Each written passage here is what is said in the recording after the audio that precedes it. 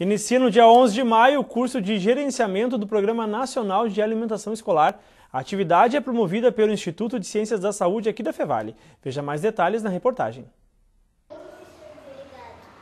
O curso busca capacitar profissionais, acadêmicos e diretores de escolas infantis e fundamentais para a importância do programa de alimentação escolar, mostrando que deve haver acompanhamento nutricional na alimentação em ambiente educacional.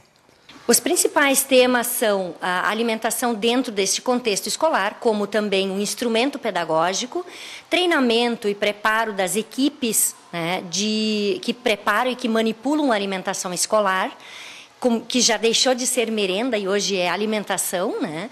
Uh, nós temos vários, várias uh, partes com legislação, que norteiam o programa, né?